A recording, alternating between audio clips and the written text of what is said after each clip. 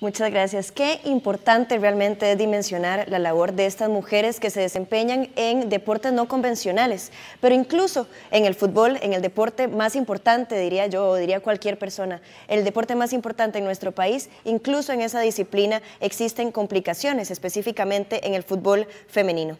Para hablarnos más de este tema, tenemos el día de hoy a Carol Robles Cuero, quien es entrenadora de nada más y nada menos que el Deportivo Saprissa Fútbol Femenino. Ella compartirá con nosotros y nosotras los desafíos y los retos que presenta esta disciplina para las mujeres. Buenos días y continuamos. Bueno, buenos días. Seguimos con eh, esta gran cantidad de mujerones en el deporte. Así que, eh, bueno, eh, estoy con Carol. Gracias por madrugar con nosotros y sobre todo porque ustedes de algún modo son un ejemplo a seguir. Entrevistaba a Amelia Valverde y me decía que el Deportivo Saprissa es uno de los que lo sabe hacer. Así que cuénteme usted un poquito cómo es la experiencia de dirigir a tantas mujeres, pero sobre todo de recibir institucionalmente un respaldo que les hace de algún modo ser ejemplo en esa línea de trabajo con el fútbol femenino. Eh, muchas gracias Marlon por la invitación. Este, bueno, son espacios muy importantes para nosotras. Eh, creo que sí, eh, Saprisa es una institución de prestigio a nivel deportivo, es una institución muy importante a nivel nacional y para nosotros es eh, un honor ser parte de esa institución y además una responsabilidad enorme, ¿verdad? Representarla de la mejor manera. Ahora, eh, ¿existe algún tipo de hoja eh, crítica de parte de ustedes como, como personas que casi que hacen docencia y pedagogía del fútbol? Eh, en el sentido de leer cómo en otras instituciones, en las ligas menores, las niñas viven condiciones de vulnerabilidad, los terrenos de fútbol, o sea, todo esto que ustedes pueden ver en el día a día, tienen clara una hoja de ruta, sobre todo para hacer que ese fútbol cada vez vaya en mejoría. Eh, yo creo que es muy claro, ¿verdad? Eh, esto es un trabajo de todos, ¿verdad? Hay un tema también de, gobierno, eh, donde tiene que haber más involucramiento en el tema deportivo. Eh, eso que decir de las condiciones no solo sucede en ligas menores, ¿verdad? Hay equipos de primera división femenina que tienen esas condiciones. No, no, es que no lo sepa, sino es que eh, he, venido conversando con varios padres de familia y me comentaban cómo a nivel de liga menor verdaderamente a veces es un desastre jugar un partido en alguna zona, sobre todo costera del país.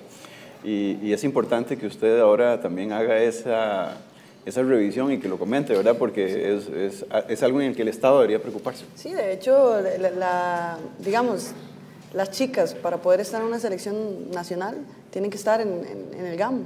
Si, si, están fuera de ahí, tienen que buscar las condiciones por ellas mismas para poder estar aquí.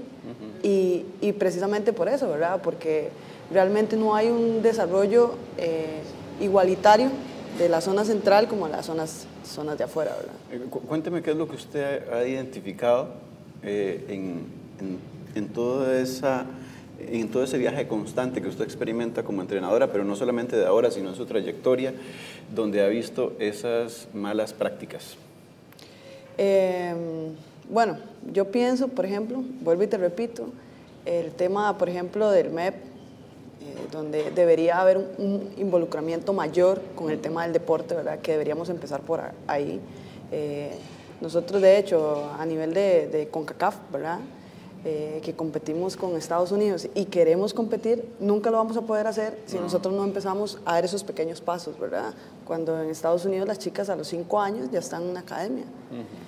Acá, bueno, la Liga Femenina ha intentado abrir categorías U9, U11, que son a nivel de escuela, pero si no hay un apoyo real, digamos, del ministerio, es muy complicado, ¿verdad? Es muy complicado tener un equipo ya de por sí. Y ahora, sin el respaldo de, del Estado, es casi imposible. Ahora, eh, no, sé si usted maneja un dato como ese, ¿verdad? Porque eh, tal vez es más dirigencial, pero mantener un equipo, usted decía ahora que es caro. Eh, ¿Cómo mantener un equipo con una afición que de repente tal vez sistemáticamente no va a los estadios y que, y que no es igual a la cantidad de asistencia que puede experimentar el fútbol profesional de varones. Ese es un tema bastante complejo, ¿verdad? Porque es un tema de cultura. O sea, lamentablemente vivimos en un país donde el machismo todavía prevalece, ¿verdad? Eh, y poco a poco hemos ido cambiando un poquito esa mentalidad, pero no del todo. Nosotros eh, este año logramos un récord en asistencia en un clásico que fueron 5.500 personas. Eh, que realmente, si vos ves, lo comparas con un clásico masculino, es una cuarta parte tal vez, ¿verdad? Entonces, es, es, bastante complicado. Ah, por ejemplo, hace una semana jugamos en el Estadio Morera Soto, un viernes a las 8 de la noche, un clima espectacular, un buen partido. Habían 300 aficionados. Entonces, a veces son cosas que uno dice. La gente, por ejemplo, se queja mucho en redes sociales, que por qué no juegan en estadios, por qué esto, por qué el otro pero al final no llegan. Ahí le está lanzando usted un dardo duro también a la ciudadanía, diciéndole que no solamente apoyarles en redes sociales, como decía una deportista casualmente, eh, muy reconocida de nuestro país de selección nacional, posterior a... ahí vemos un clásico, gradas vacías, casualmente. Eso es el Morera Soto. Ese fue el partido, correcto. ¿verdad? Codea, contra Codea, me parece que ¿no? Codea. Bueno, es, es, un claro ejemplo de cómo hoy por hoy eso cuesta. Ahora, eh, fue muy famosa la jugadora sueca y también inclusive en su discurso la jugadora eh, del, del, equipo estadounidense capitana de reconocer reivindicaciones de mujeres y la importancia de que se reciba un respaldo. Pero de la sueca me llamó mucho la atención la necesidad de tener de algún modo eh, salarios paritarios. Eh, no, le voy a dar no, le, no le voy a hablar en este programa de salarios paritarios porque sé que es una cosa muy compleja, pero por lo menos dignos. ¿Se están experimentando cambios en esa línea? Es que ni siquiera existen salarios. Ese es el tema. En el caso de nosotros, nuestra liga es aficionada, entonces eh, las chicas lo que reciben es un viático. O sea, son los pasajes o el combustible para que lleguen a entrenar, ¿verdad? Ni siquiera es que les da para algo más. ¿Por qué? Porque el reglamento no lo permite. Entonces, digamos, para nosotros dar ese paso no es simplemente, digamos, como que Saprisa lo haga o que lo haga Moravia o los equipos tal vez que están mejor acomodados. Es un paso que tenemos que dar todos.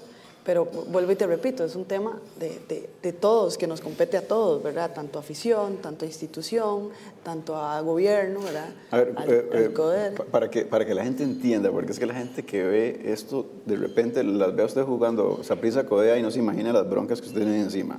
A ver, los uniformes. Muchos de los equipos, los propios jugadores pagan los uniformes. Algún momento nos pasó. Claro que sí. En el caso de esa prisa, bueno, como dice usted, son condiciones muy diferentes.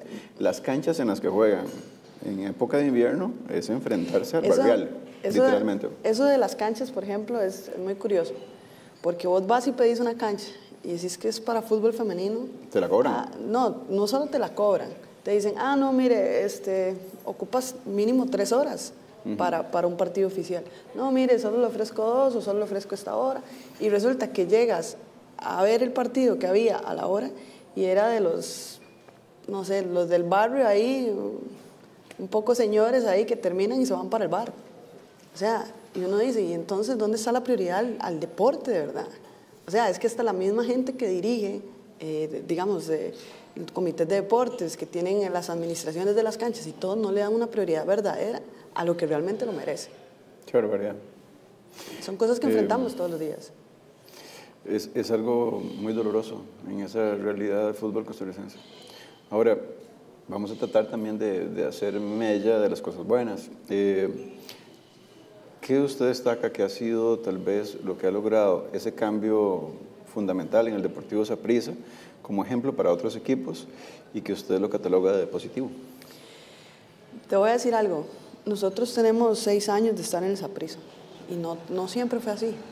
Eh, creo que nosotras y las muchachas poco a poco fuimos abriendo puertas, fuimos convenciendo, fuimos haciendo creer a la gente que estaba ahí adentro. Y al día de hoy, pues nosotros tenemos un apoyo enorme de las personas que están ahí adentro.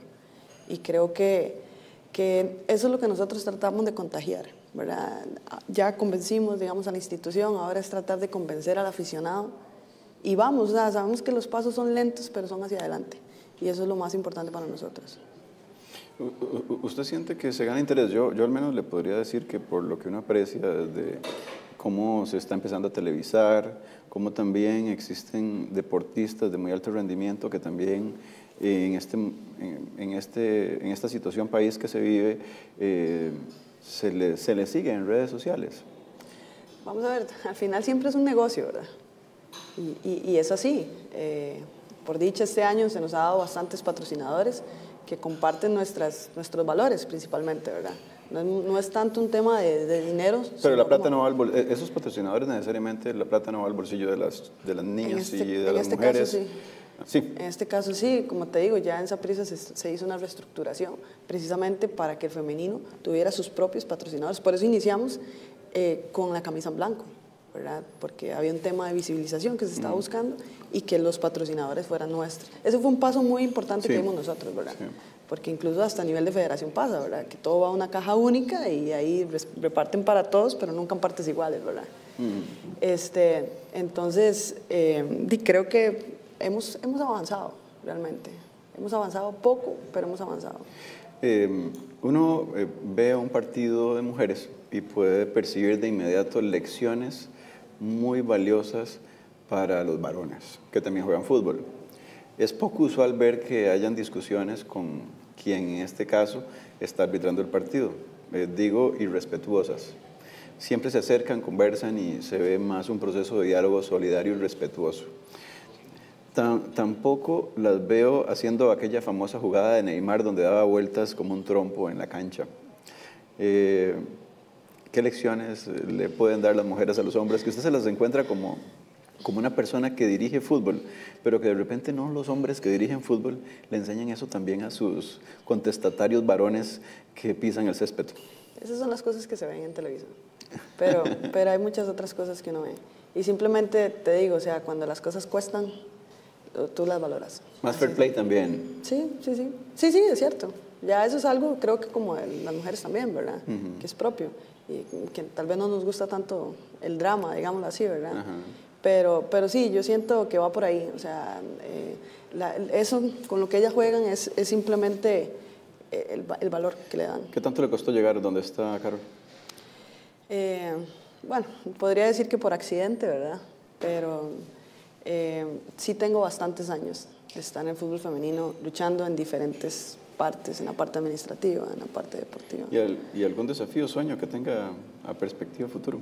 Vieras que yo soy una persona que que voy y las oportunidades que me vayan saliendo las voy tomando.